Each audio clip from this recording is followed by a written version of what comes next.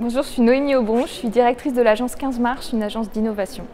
Euh, donc pendant l'atelier, on a essayé du coup d'utiliser la méthode de, design fiction, de projection dans les futurs, pour essayer d'évoquer les tendances et les hypothèses possibles pour le tourisme de demain. Donc, euh, par exemple, on a essayé de se demander euh, comment est-ce que se passerait le tourisme une fois que le métaverse serait devenu ringard. Est-ce qu'on aurait du mal, du coup, à, reprendre ces marques dans, le tourisme du monde réel? On s'est aussi demandé bah, est-ce que, Airbnb pourrait racheter des offices de tourisme et, à quoi ça pourrait ressembler ce, futur-là?